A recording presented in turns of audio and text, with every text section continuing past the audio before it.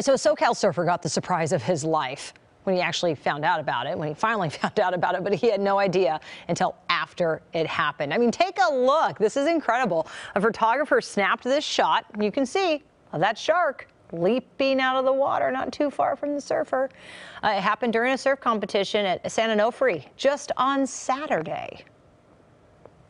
I was shooting the surfer and all of a sudden the thing jumped out of the water. I've had dolphins breach, I've had dolphins jump over people, I've had whales, people swimming with whales out there, but I've never seen a shark breach. I've shot millions of shots. I guess this is one in a million. Yeah, it definitely is.